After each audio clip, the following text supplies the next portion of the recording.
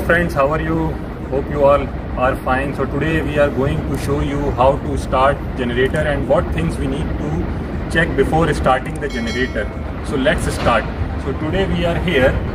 Uh, as you see this is Perkins generator 2500 series. Can you show here?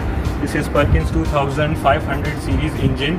And the nameplate is showing here for this engine.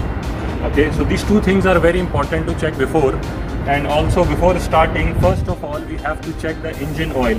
So the engine oil we have to check here from this dipstick this dipstick as you see here as you see here there is a two points. These are two points. One is for low low level of oil and one is high level of oil. So normally we have to check the oil should be between these two points. It will be not more than less or not, not more than full if it will be in uh, between these two points this will be okay. So this is the first thing that we check the oil of the engine. After that we have to check the engine coolant. As you see here the radiator this is the radiator cap here.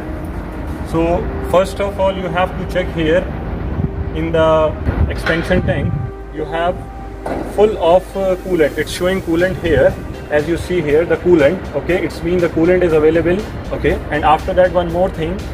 This is called well switch. water level switch. If the water level is lower than this switch so it will indicate us on the panel.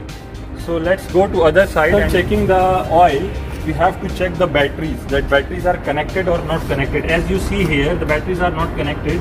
So these are this is the negative lead of the battery so what we will do we have to connect this battery negative on negative okay and the positive side on the positive terminal. After connecting these two we have to check also the diesel level how much diesel level we have in the diesel tank before starting. It's very important. So now i will show you how much the diesel inside. This indicator is here. It is showing here it is showing here the diesel level. As you see here one fourth of the tank half of the tank 3.4 of the tank and here it is full. So this indication you have to check before starting the generator. And also one more thing is here which is digital sensor for fuel level. This sensor give you reading how much percentage of fuel is available in the fuel tank in the base tank.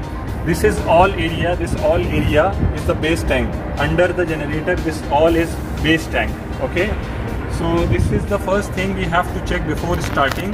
Four things we need to check engine oil level, radiator coolant level, diesel fuel level, batteries terminal connection.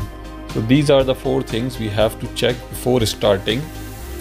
I hope you guys like this video so kindly subscribe our channel and keep watching Power Learning and have a nice day. We'll see you in the next video. Bye bye.